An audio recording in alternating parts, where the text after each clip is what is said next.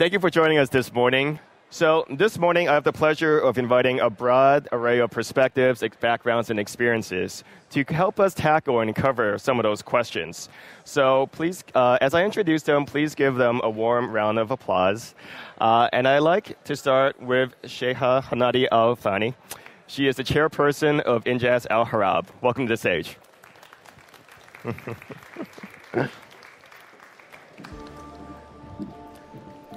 And next up, I'd like to invite Meia Chita Tegmark. She is a postdoctoral research fellow at Tufts University and a co founder of the Future of Life Institute. And finally, last but not least, I'd like to introduce Rose Luckin. She is a professor of learner centered design at the University College of London, and her research is in artificial intelligence in education. Welcome to the stage. All right, well, thank you for joining us this, uh, this morning. Um, to start off with, I'd like to just learn a little bit more about your various organizations. I just did a very brief introduction right there, but um, let's start with you, Sheikha Hanadi. Um, tell us a little bit more about Injaz Al Arab and um, some of the work that you do that's related to our conversation that we're going to have about skills for the future. Um, Injaz Al Arab is a part of the Junior Achievement Worldwide. Uh, we are the um, Middle Eastern arm of Junior Achievement. So we work in 13 countries, and uh, our aim is to promote financial literacy uh, success skills and entrepreneurship in the youth of uh, these countries. Mm-hmm. Up to date, we've uh, reached around for uh, 5 million uh, students worldwide, youth from the Arab world. Mm-hmm. We work in 13 countries, as I said. And um, uh, we have bases in every country. So Injaz Qatar, Injaz Bahrain, Injaz Saudi, mm-hmm. we have bases in every country, and uh, that's that's okay. basically my passion. Great. Thank you. Uh, next up, Meia, tell us a little bit. We got a, a little bit of a teaser uh, from Max just now, a little bit about the work, the Future of Life Institute, but tell us a little bit more, maybe directly, about the, the work that you do there. Yeah. Um, so, in addition to the hat that I wear uh, being a co founder of the Future of Life Institute, um, I'm also a postdoc in a human robot interaction lab. I'm the only psychologist, the only person uh, coming from the social sciences in a world of robotics and trying to infuse a little bit uh, more knowledge about uh, human human development. Uh, with the Future of Life Institute, uh, Max and I started this organization, this nonprofit organization that's very focused on the beneficial uses of technology, with this idea in mind that technology is giving us the power to flourish like never before, but also to self destruct.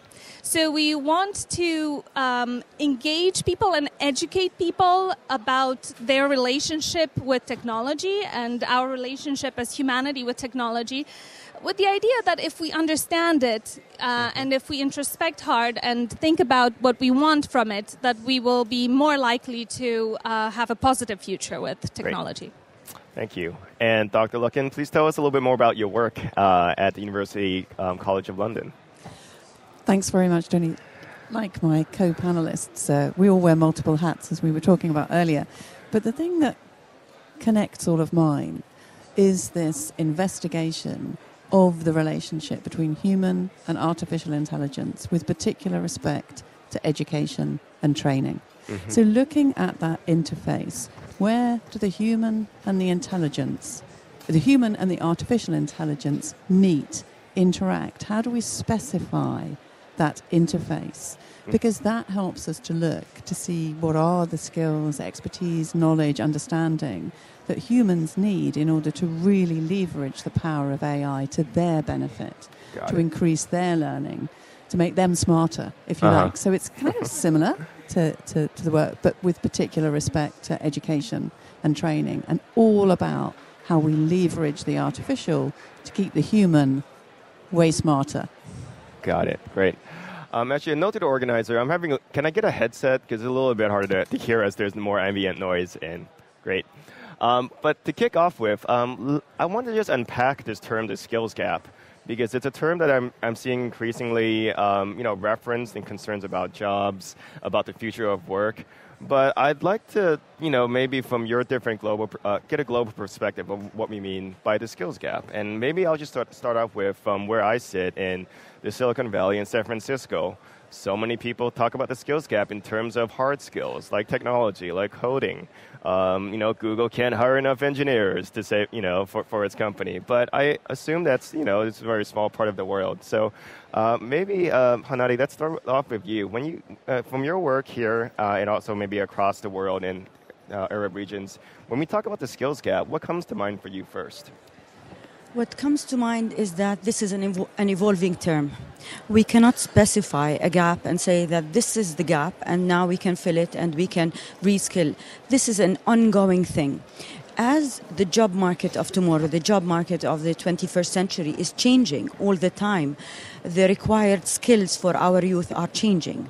So we can specify some skills that you know are completely missing within the educational system, and I would specify one: financial literacy.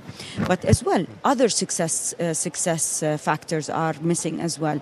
Um, so this skill gap is the it's a it's a term that I don't think will go away anytime soon because first of all the acceleration of the requirements of the job market the change of the job market is happening at an alarming stage. So whenever the educate the educational system feels that we are catching up they're firefighting.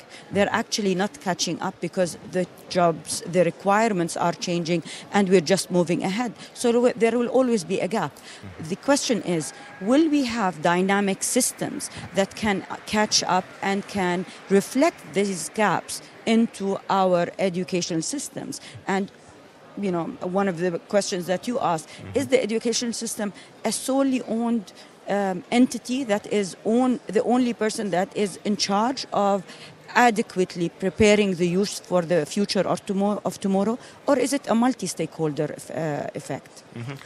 When you talk about financial literacy, that's not a question, that's not an answer I, I, often hear too much. So, more specifically, I mean, what are some of the specific um, financial literacy, literacy skills that you're finding that students or adults uh, need to like brush up on? Everything. Like what problems do they Everything. have? I think as we are advancing our uh, financial sector, a lot of uh, products that are coming up that are completely new to the average individual. So let's start up by someone who's graduating as an engineer and gets given a credit card without any knowledge of what kind of um, uh, you know interest rate they're paying, what is the requirements for their uh, paying schedule, and let's look at any kind of financial system that uh, gives so much financing to individuals individuals without looking at how they will pay back. We're consumer uh, societies, you know, all over the world. We are becoming consumer human individuals and consumer societies. So we're coming up with all of these advances in the finance system just to make sure that we're giving you what you need. And I'm a banker as we all spoke, you know, we, we wear mul- multiple hats. So we're coming up with all of these inventions without actually explaining them to the average individual. So financial literacy is mm-hmm. as well an ever evolving thing. It's not only savings and, you know, con- what are you consuming, but what are the products that are available in the market? How can you get them to help you in your life rather than them becoming something that is a burden on you on the long term? Got it. Uh, May I want to pose this question to you? When you when, when you first see the word skills gap, what ideas, thoughts, questions come come into your mind? Yeah, so traditionally, the, the Future of Life Institute has always uh, taken long term perspective. So, not thinking just about the next five years, the next 10 years, but really thinking about the development of the technology from AI maybe to AGI, artificial general intelligence, maybe something human level like. So, when I think of the, the skills gap, I, you know, I also think a little bit of humanity's identity crisis, sort of. I think we're we're really, you know, face we're at the unique point in point of time in history where we are really uh, struggling to define what it means to, to be human and what we value about being human. Um, and I think as machines are getting better and better at uh, you know some of our cognitive skills, which we, we, took great pride in, right, for, for decades, if not hundreds of years, um, I think we have to rethink a little bit about what, what does it mean to be human? What do we value about it? Uh, what, what does it mean to work, really? Because it might look completely different, and it certainly is already looking very different than it, than it looked uh, decades ago. Mm-hmm. But I think that we also have um, this responsibility to uh, think thoroughly and not just um, sort of put technology first and try to redefine ourselves around it, but put ourselves first and, and think what it is that we want. What do we want to do with, with this technology? And, you know, what do we want for uh, for it to mean to be to be human and for us to be working and what skills do we want to um, continue to uh, you know to, to gain and to uh, value. Can I push you for one specific skill? I mean, Hanadi talked about financial literacy a little bit. Um, what would be the most pressing kind of skill, or example of a skills gap that you would come up with as you yeah, think about so what it means to be human? So you know, to to go back to my psychology hat. So, for example, in psychology for the longest time, psychology has been so incredibly focused on uh, pathology and everything that means disorder and everything that means abnormal development. And I think with, with technology, we have this fantastic opportunity to think about flourishing and well being and what does it mean to really be happy. And we see a, a surge in uh, research on positive psychology, for example. So, one of the skills that I would love for people to have is, you know, how do you, how, how, how do you how are you happy? How do you become happy? How do you how do you know how to use technology to um, you know make your lives better and and happier? So a little bit of I guess self awareness, introspection, and mindfulness in in our relationship with technology. I think we should teach more of it, learn more of it, develop more of it. I'm not going to disagree with happiness as a as a goal.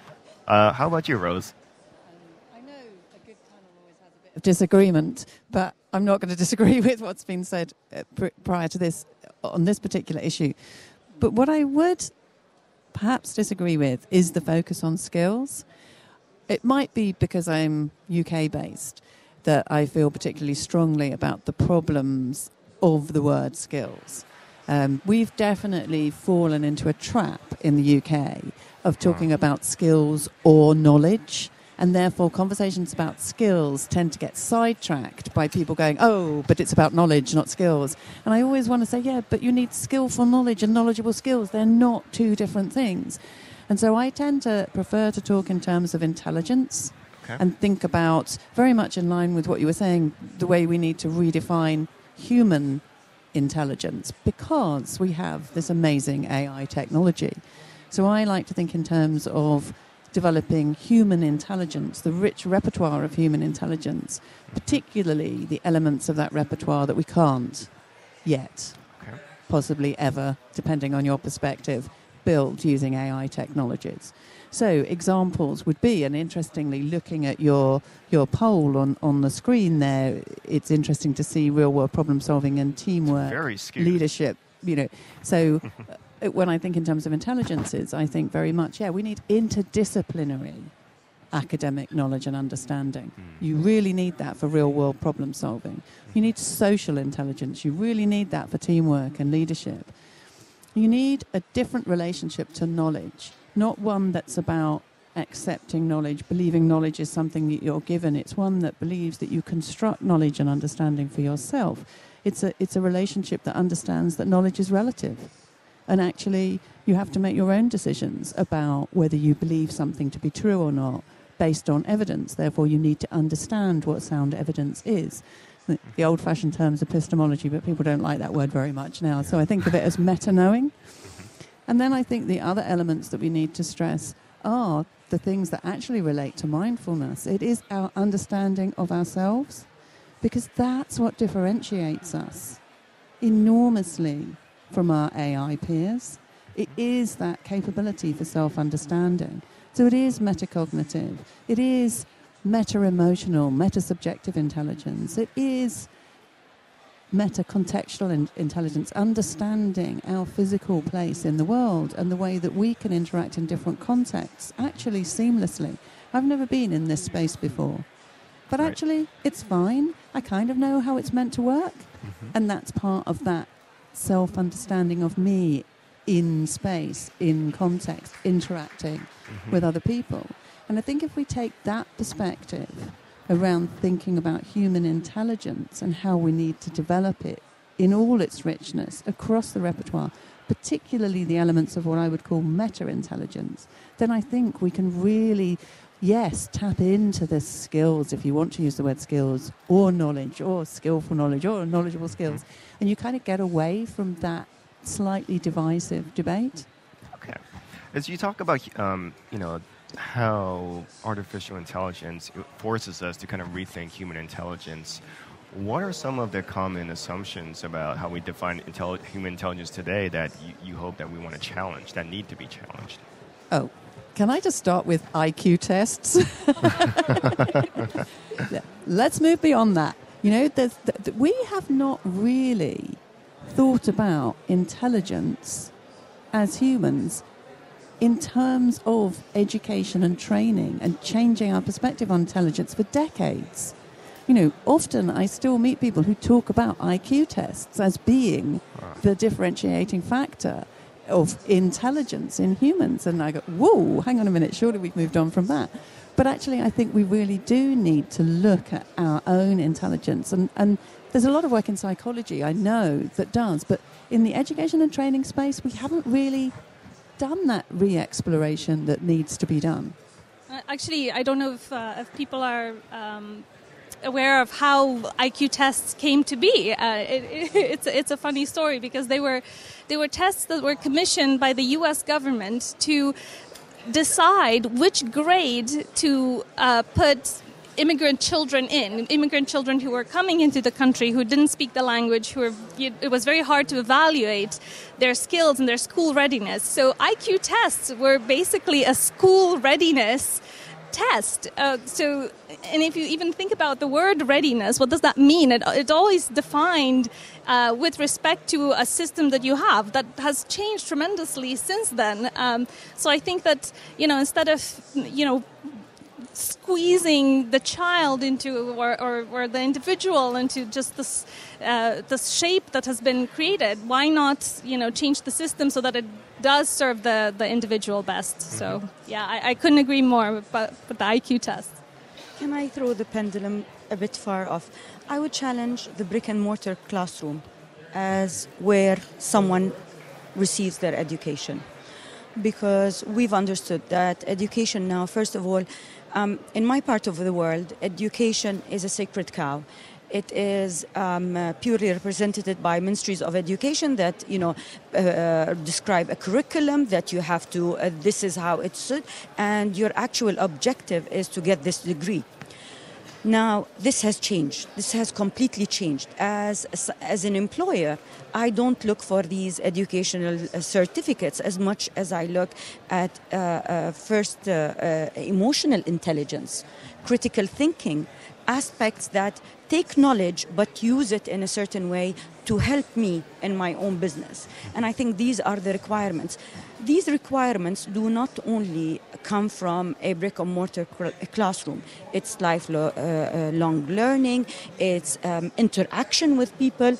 I'm not one with, um, as well, a complete edtech, you know, outside the human interaction aspects. I believe we can learn from each other much more than we can learn. We can have knowledge, but as well, human interaction, teamwork comes from human interaction. Critical thinking comes from just speaking to one another and understanding the way we think. So I, I would challenge the brick and mortar. It's not a place. Education today is not a place. It's a process that goes through the whole lifelong experience. Mm-hmm. Uh, so, kind of going off onto that, um, what examples have you seen of maybe your own work or maybe other other countries, other systems that have really kind of pushed this idea or challenged this idea and have successfully been able to get people to shift from thinking about education as just a classroom, as a brick and mortar institution? shifting is a dynamic thing. We're still shifting. And I must say, um, I'm not very pessimistic about technology and AI as some, as some might think. I think, as in any, any kind of new experience. The first industrial revolution, we're on the fourth one now. The pendulum usually shifts so far off into technology, but then comes back into normality. And there are people who are scared out of this technology that just stay behind. So, my um, going back to your question, what have I seen? Um, education system are very slow to react. We read reports today about you know jobs that are not required for the new uh, um, 21st century workforce. Yet we still churn graduates out of our universities with specific disciplines that you know an accountant. What does an accountant do that my SAP system cannot do? I need an engineer with accountancy. I need someone who's a biophysicist with accountancy. I need these multidisciplines. So these things, educational systems usually take some time to pick up on and change. Mm-hmm. And these are some of the things that we are pushing for. So it's a multidiscipline approach. It's something that needs, first of all, at the heart of it, adaptability of the person. And I think this comes, um, you know, adaptability is a, is a trait that we, we learn as young as you know toddlers at the home and it's something that grows up with you. So you're you're taught adaptability in the classroom. You're taught adaptability at work. You're taught adaptability while speaking to tony. Mm-hmm. so you know you adapt to the, the the place you are in. So these are the things that we are working on.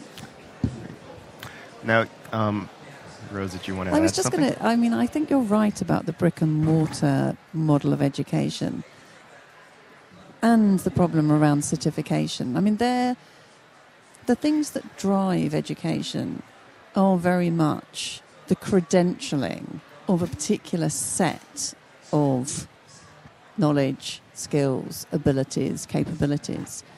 And that's something that I think is being challenged, as you describe.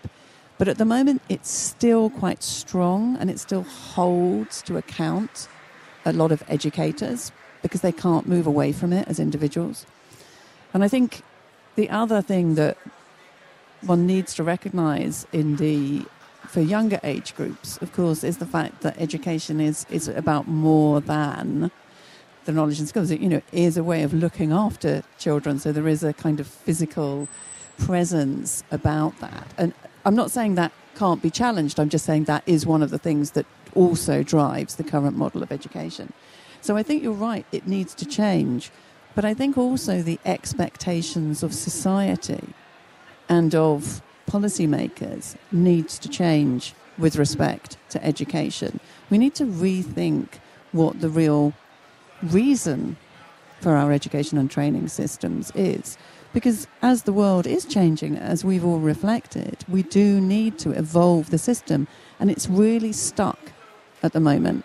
And, and there are things happening around the edge, but it's actually how do we really make that fundamental shift, particularly around credentialing, that would free up the system to evolve more in line with the way the world of work and, and our lives outside of education are evolving. Can you point to some? I mean, are there any examples of uh, either I don't know companies or institutions that are doing this well? So back to the question. So we're not going to do IQ tests. Uh, let, us say we get rid of IQ tests, we get rid of the traditional credentialing system. Uh, I assume that nobody here is going to argue for standardized tests as another pr- good proxy. But what is um, what are systems or processes in place that are a good um, you know, kind of a good proxy for kind of the intelligence, you know, the, the, the, the new kinds of intelligences that, that you all talk to? I'm happy to answer, but I don't want to hog the, the microphone. I'll, give, I'll try and be quick. There are lots and lots of organizations who are trying to break the mold admirably in a situation where we still have a world that's really still driven largely by credentials. There's, there's a lot of them out there. And I think some of them are also really challenging the actual credential itself. So if you think about the No Transcript organization that's emanated in the US, but is working with some of the top universities to try and move away from the way students are admitted to university to adopt a totally different way of evidencing a student's suitability for university, then I think we can see, you know, there is movement, but it's really small. I have the pleasure of sitting on a panel for our Office for Students in the UK, which is the regulator for higher education.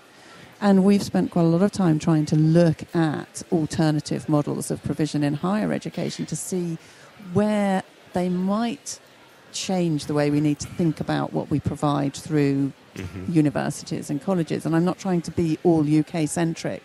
I'm just saying I think you know it is an interesting space we're in at the moment. There are pop there are alternatives popping up all over the place.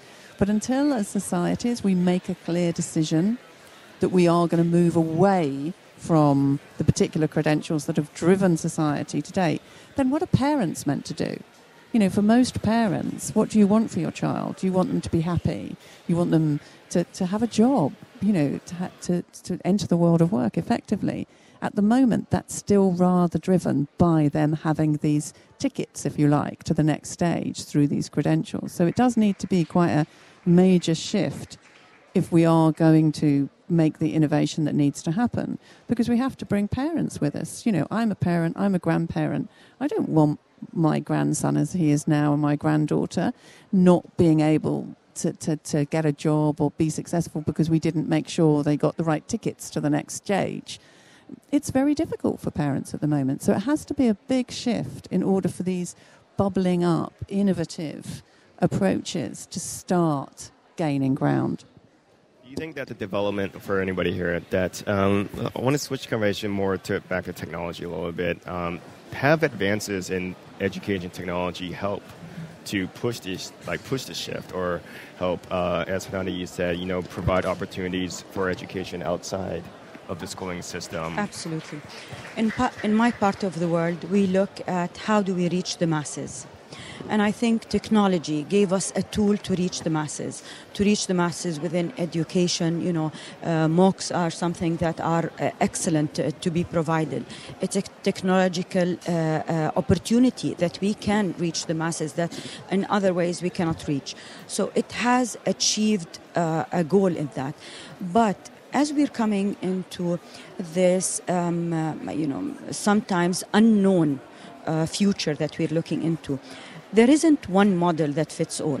There are different models uh, that are emerging. Some are successful, some are not this, uh, that successful. But technology plays a very big part in everything that we're seeing, mm-hmm. especially with education. Because how can we ignore a life a lifelong that you know we'll, we'll be going into when we are young um, and I go back to the example of a parent. I met a parent the other day who told me that you know he's keeping his kids away from uh, any kind of iPhone, iPad until they're 14. And I said, "What? How are they going then to reflect, you know, to be uh, um, uh, uh, shocked with with this technology when they are 14. Now it's a matter of life. You know, you give an iPad to a two-year-old, he starts turning the pages. So technology is in our life, and it's there to stay.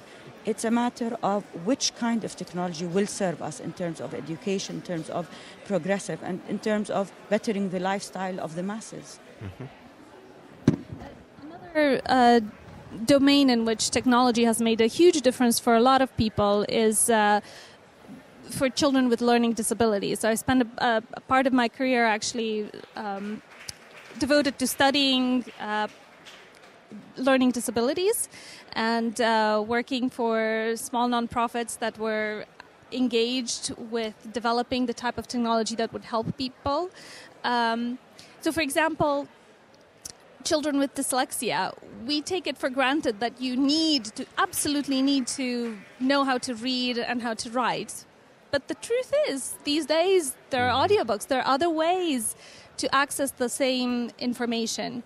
Uh, the other thing that we see in the world is, you know, huge migrations, right? Language has been such a huge barrier, and uh, I've worked a little bit also being an international student myself for a good part of my life and, and struggling with you know learning a second language and trying to think and speak and write in a se- second language technology has has made huge improvements and has brought a lot of benefit to to people who are struggling in one way or another with accessing information and mm-hmm. engaging with it and making it much more easy. So that's another way to to think about the the beneficial impact of technology in education. Got it.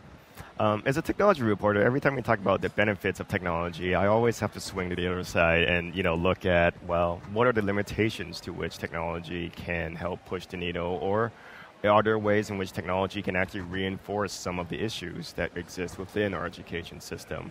And maybe I'll have to pose that to you, Rose, to kind of provide the more kind of nuanced. Actually, I don't think we've done enough for special needs. I, you know, there's so much that can be done, as you've started to describe, and, and actually, I think technology has tended to date to benefit the better off, the more privileged, who can leverage it to, to their effect. So you're so right.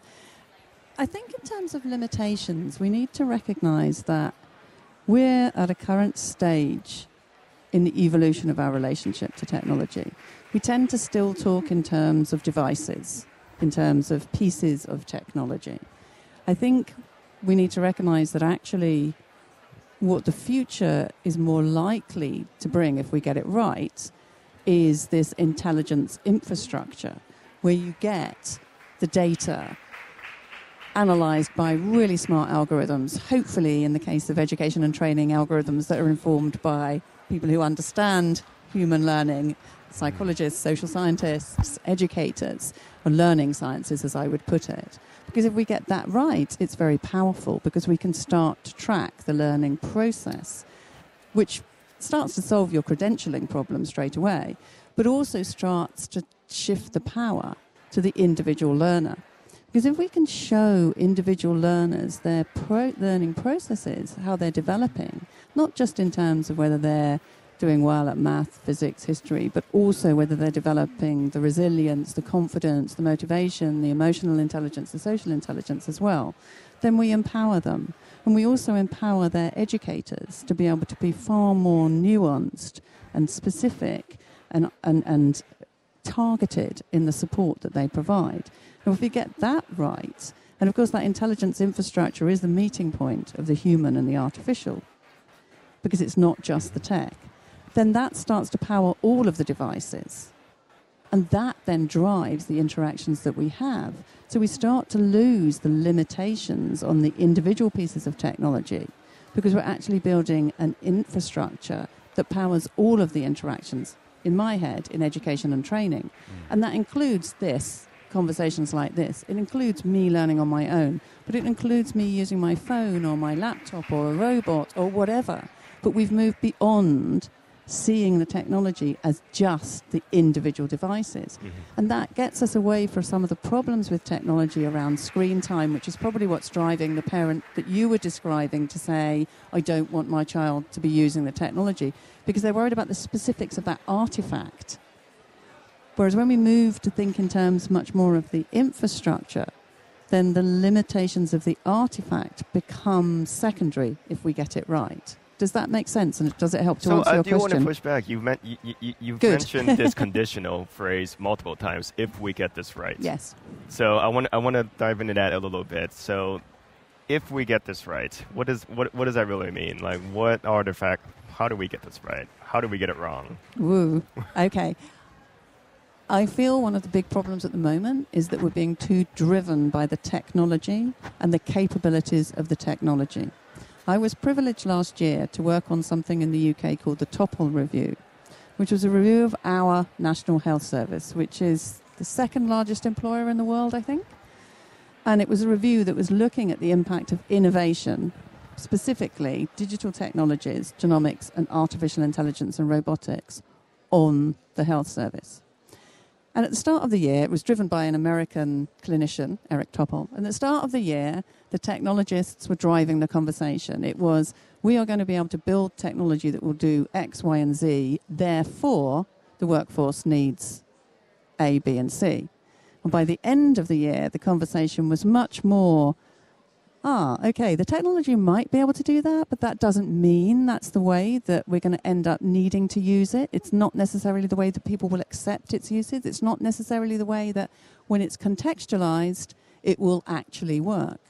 So we moved towards a realization that it was much more about building a learning culture in a workforce that was resilient, that was accepting, that it would constantly need to change its relationship to technology, would always be needing to learn as something new came along and as that thing embedded into the system. Of course, the specific training you need to provide for advanced technology that's designed to, you know, uh, you know, very advanced technologies around particular illnesses or particular skills. But in general, it's much more about the human. And what worries me is that in many instances, that's not what's driving the decisions. It's driven by the technology. All over the place, I see, for example, a very specific example, pieces of AI being brought into a business and then falling over because they weren't the right thing to be brought into that business because people hadn't understood the business and the humans that operate in that business and the data in that business and the nature of that business enough to know what the right thing was to do with the AI. Mm-hmm. So the wrong things brought in but we're driven by this. Oh, we've got to have some AI. You know, oh, we're falling behind our competitors if right. we haven't got this AI bot doing this, that, and the other. And it's a real problem.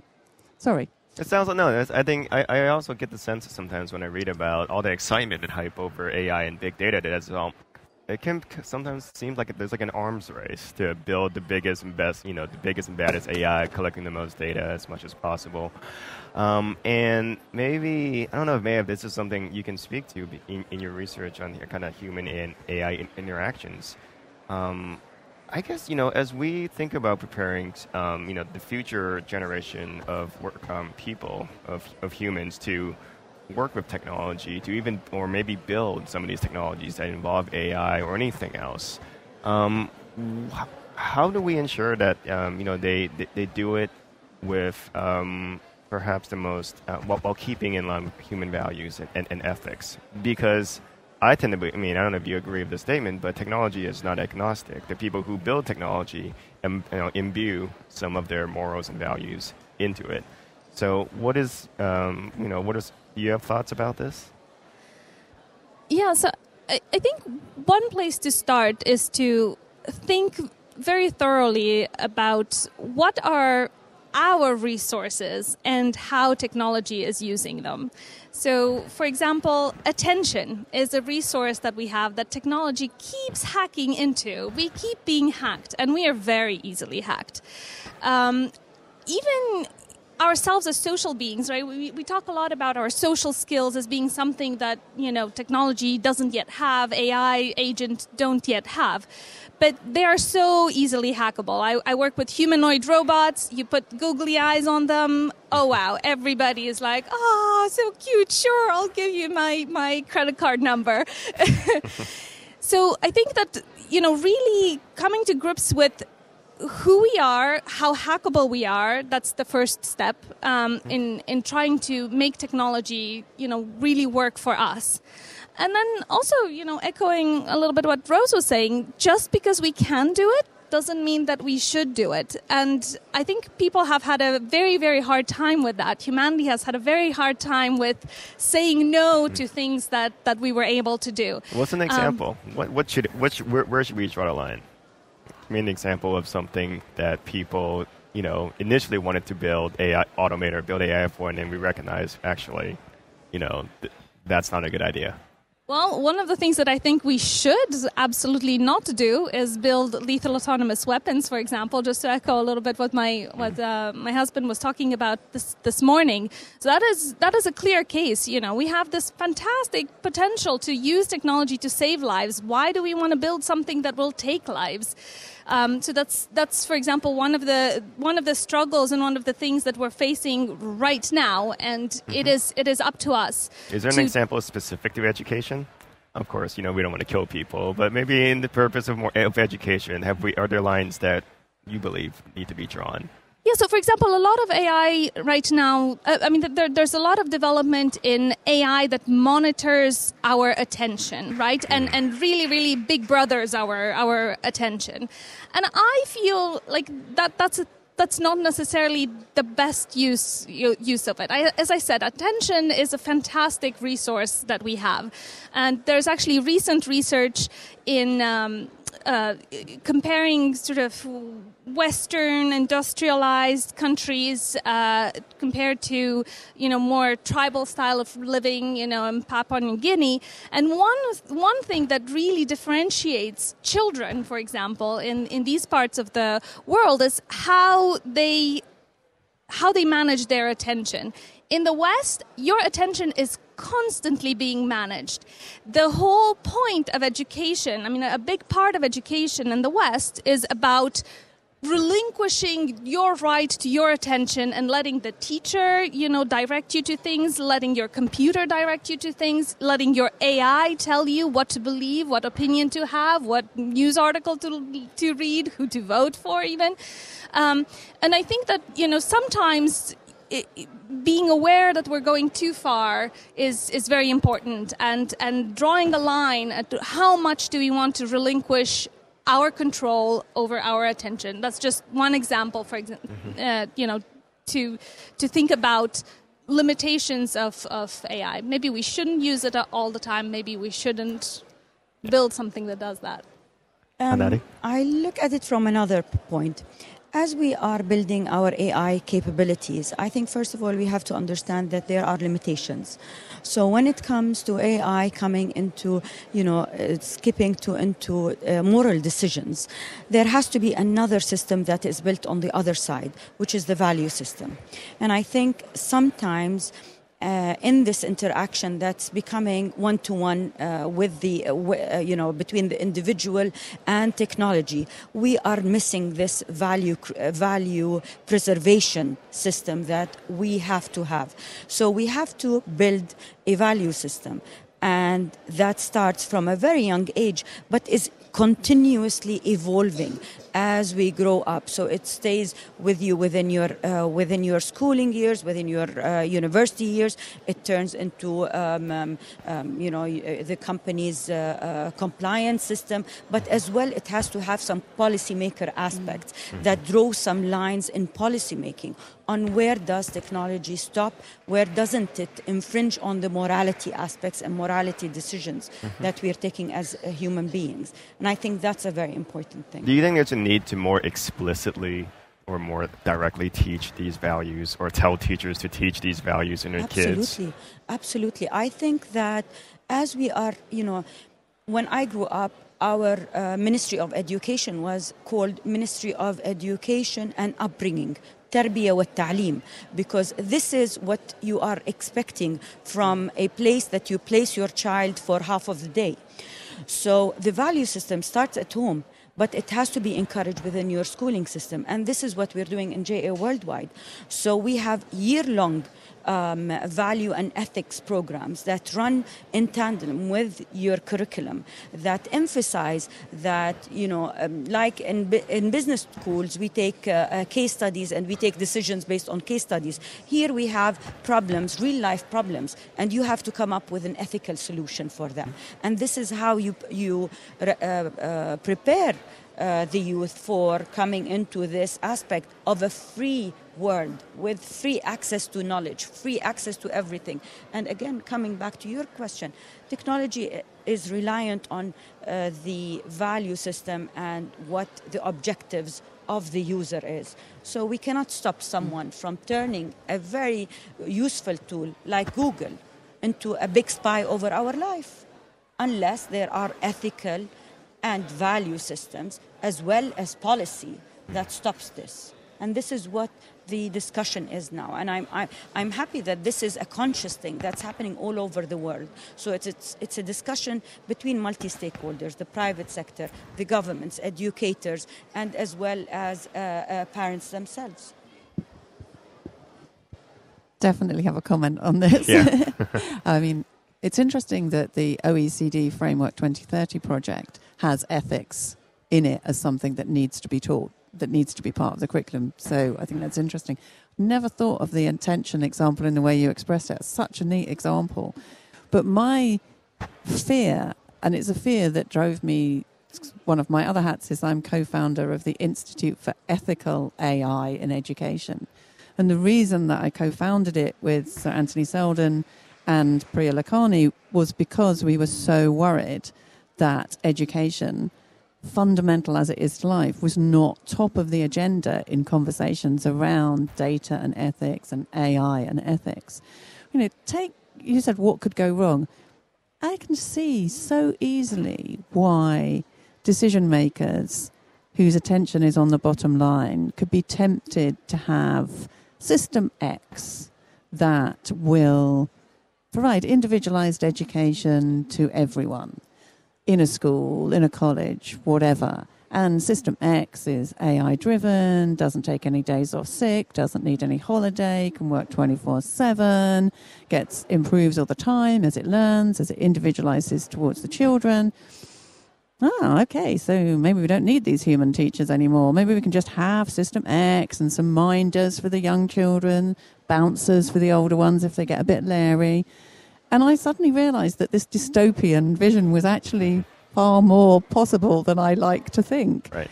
You know, because in theory, you could build a system like that. Obviously, it wouldn't provide a good quality education, but actually, it could tutor students in the core areas of the curriculum that we value far too much at the moment. So I think there is a real, real risk. Obviously, the ethical agenda is much broader, and I think you know, I look at courses in my own university and in other universities I've worked with, and the people building the systems, ethics is generally an add on course. Sometimes it's even an option, not a compulsory course. Mm. You know, everybody needs to understand ethics, particularly if you're involved in building technology. But actually, we all need to understand ethics, and we all need to understand the ethical implications of even using AI because it is part of our lives. We're not, it's not going away. Mm-hmm and it does change the conversation because it does put into stark contrast things around. You know, emotion recognition can be used for good, can be used for bad. Where's the red line? Where's the red line on what data should be collected? There is no such thing as raw data.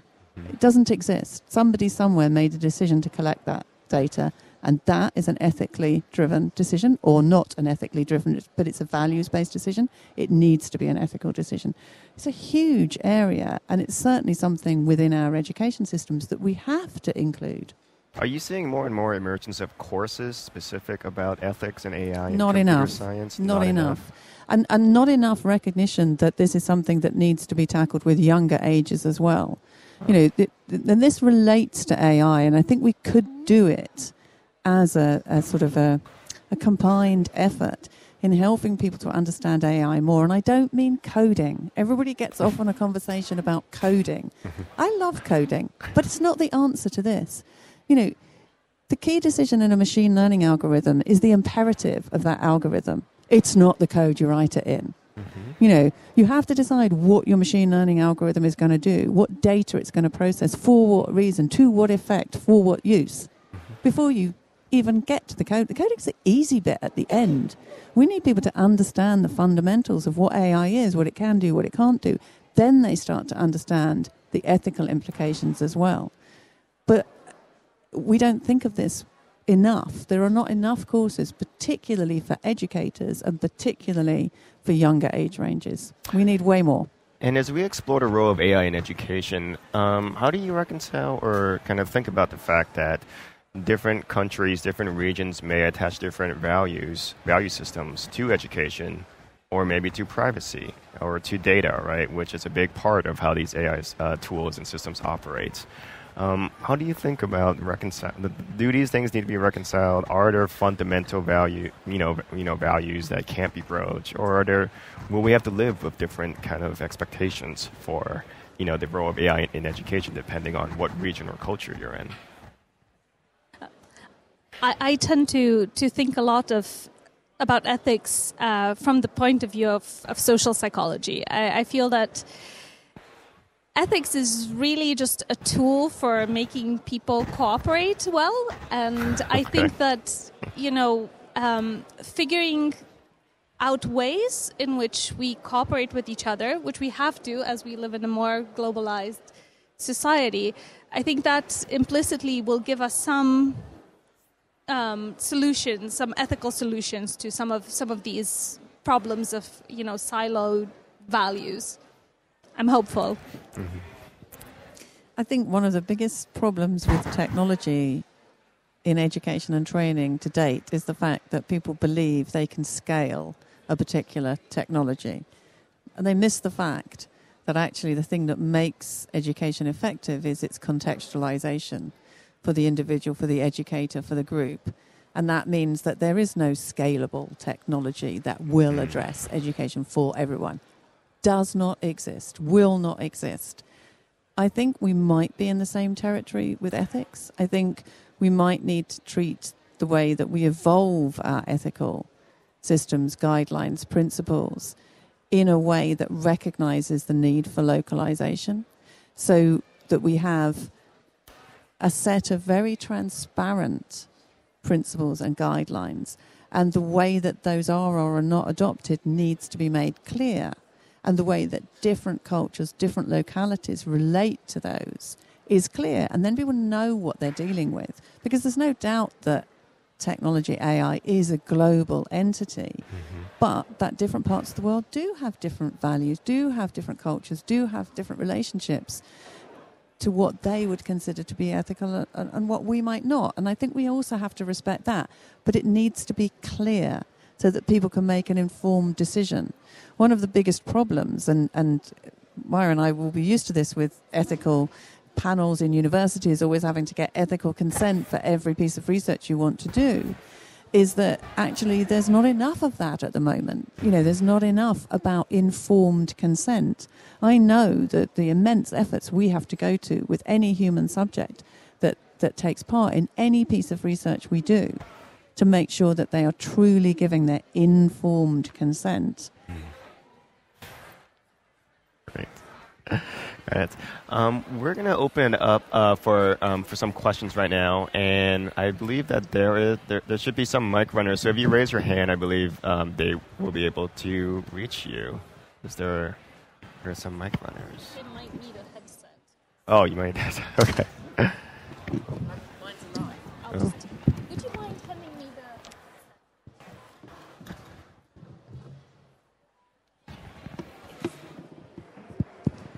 All right. Do we have a first question, or who's?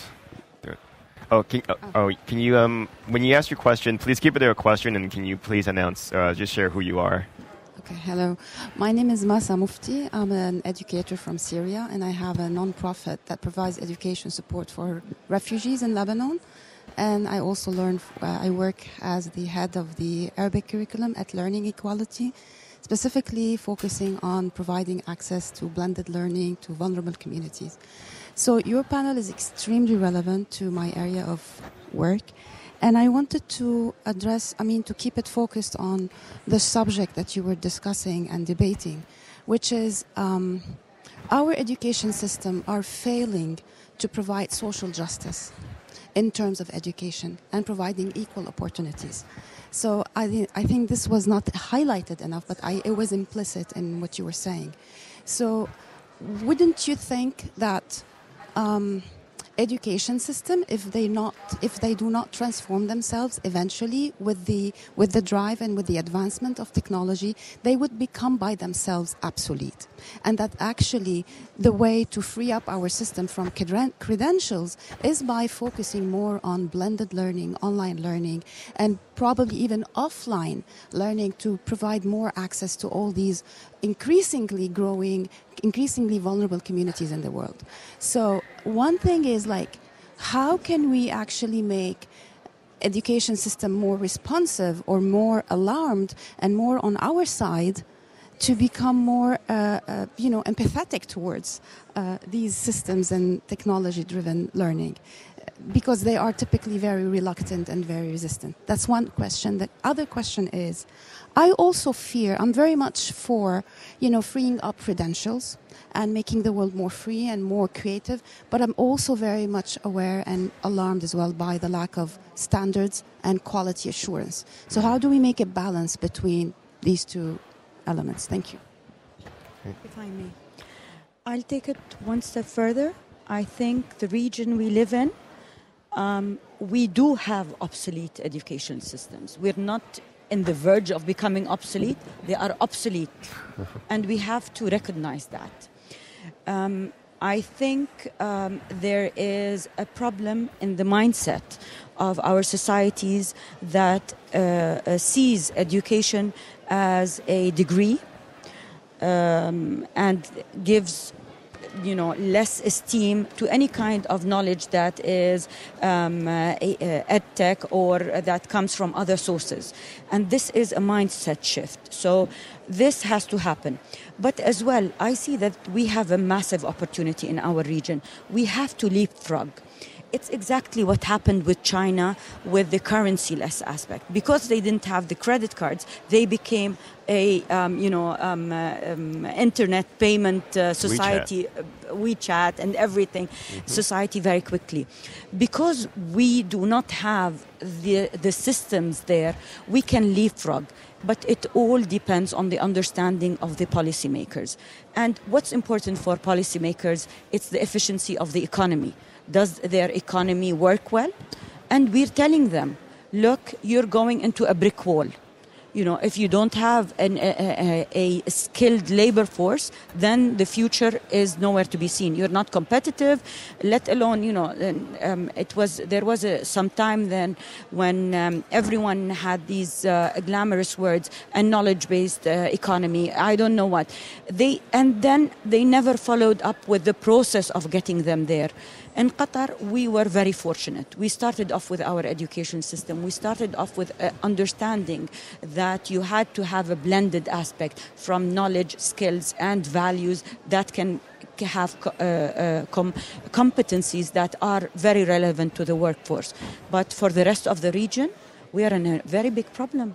And we're facing 100 million youth that in the same, if they go into the same system, we will have 100 million unemployed as well that need to be reskilled for the future. Um, does anyone want to take that the, the second question about credentials? Where you know we don't like the existing credential system, but we still need some system for quality assurance. We do. What's better? We do, and I think um, Massa, one of the ways that we might be able to deal with this, and we need to be smart because you're so right. Policymakers drive a lot of the decisions we can, we know, if we get it right, sorry, that phrase again, um, use AI systems to collect data. If we analyze it carefully, we can really get evidence. What are credentials about? They're about providing evidence that somebody can do something. We can build systems that can build that lifelong evidence trail. Lots of ethical issues about who would own that, but we certainly can do it. But I think we will always come up against the traditional view that we have done this credentialing in this way, in this standardized ways, for good reasons, for decades. Therefore, we should continue with the known quality assured standard. But I think we can possibly bridge that gap by being able to demonstrate that by using these AI enabled continuous, if you like, assessment systems, we can provide precisely the same level of quality as those standardized tests. And the way we might do that is by identifying what I might call micro credentials, so little bits that you can pick up from your data stream about an individual that actually map across to the credentials that people like and understand and know. Now, it's not something that I think we actually need to do for the sake of the quality of someone's learning. It's much more important, in my view, to help them understand their own data and for, for educators to understand that, that particular student's data and indeed their whole pack of students' data. But if by doing that, it enables us to get over this obsession, I'm going to call it, with standardized tests, then we might actually be able to progress the conversation. So that would be my very pragmatic approach to this. Great. Uh, we've got a question from the gentleman up front. Yeah, I'm, I'm really thankful for this wonderful conversation, and uh, I need to say something here. Uh, I am the chair of uh, the Swedish uh, National Faculty, and I'm also uh, the chair of Stockholm Young Faculty here. One thing I'm really happy to see here that we have three ladies in the panelists. Oh. I am really supporting the gender equality here, right? So this is uh, something great. I just want to say, in order to make sure that we have the right system, you guys didn't discuss the implementation. Implementation is something serious. How we implement to ensure the the first question, she, the other lady that mentioned the, you know, the equality and how could we implement the ethics, mm-hmm. the rule. It's easy to say, but it, the implementation is the key factor most of the time. So mm-hmm. we need to enforce something sometimes. Thank right. you very much. May I just add one point? a comment. I think our lo- our laureate today uh, hit a, a nail on the head. So you actually educate the educators there is a, a, very, very important aspect of having the teachers understand what they're teaching and what they're providing. They're the conduit of this knowledge and skills and values. So, implementation comes fr- first from getting the right person to implement. And I think in a lot of areas of the world, the teacher has become a second grade citizen we have examples of Finland, of, we have examples of places where the teacher is still taken into this high respect because he, uh, you know, the teacher, she and he are a fundamental aspect Absolutely. of the whole thing. Absolutely. Absolutely. Got a question over there. Thank you for this. My name is Magdalena Rostron. I teach in Qatar Foundation in the Academic Bridge program, which prepares students, local students, for entry into Western English language universities. And Sheikh Hanadi has just almost answered my question because my question as a teacher was this How do you see the role of teachers in this uh, dynamic education environment with the changing parameters of the classroom, rethinking of the human intelligence along the lines of uh, multiple intelligences, the ever increasing need for ever increasing, ever new uh, skills, rethinking our concept of happiness and relationship with technology. So, what about teachers? Thank you.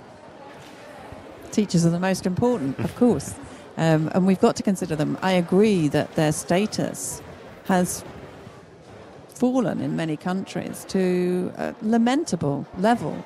I mean, it used to be the case that being an educator was something to be respected and valued, and I think we, we've lost that in some parts of the world.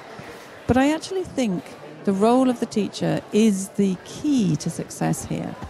If I look at a lot of the reports that are coming out at the moment, you know, all over the world, reports from big organizations like PwC, will a robot take my job or whatever, when they do their analyses, there's, there's not necessarily agreement across all of these different reports. But one thing that comes across very clearly is that the people who are most at risk are those with the poorest education. No surprises there.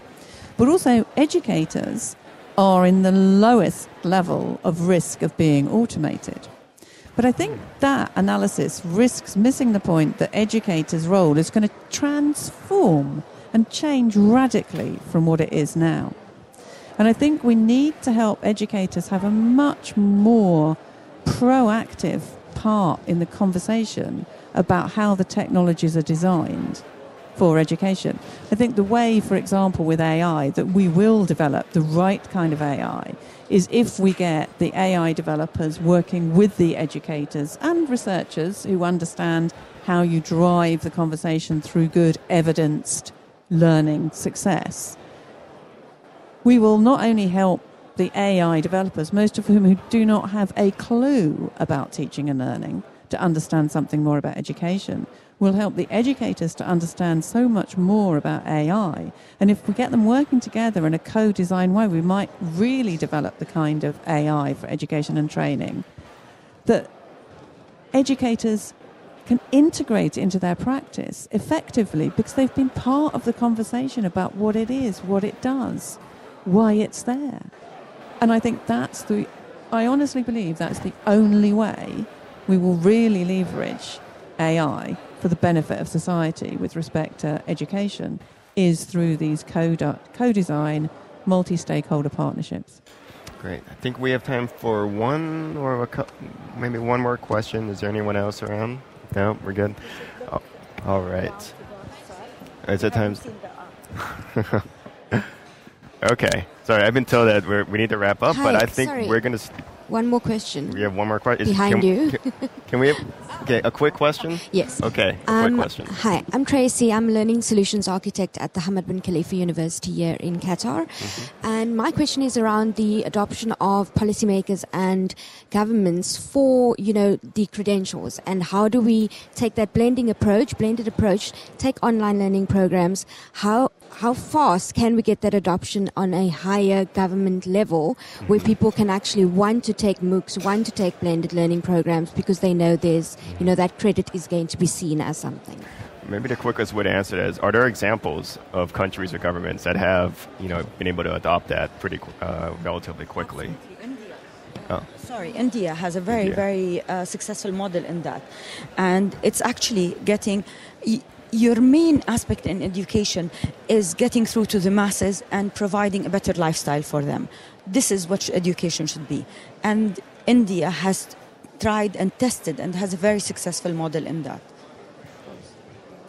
Absolutely. I, I think that's it. And, and again, it actually speaks to what we talked about earlier. The reason it works so well in India is because it's just what India needs.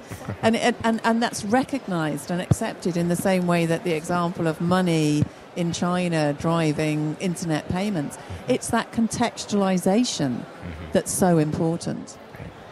All right. Well, I want to thank everybody for joining us today. I want to thank our panelists um, for joining us for this wonderful conversation that touched on a lot of different things between skills and technologies and, and values and fundamentally what it means to be human. So thank you, Hanadi. Thank you, Meia. thank you, Rose. Um, if you have other questions, I think we may stick around a little bit and hang out. So, um, yeah, please enjoy. Come talk to us.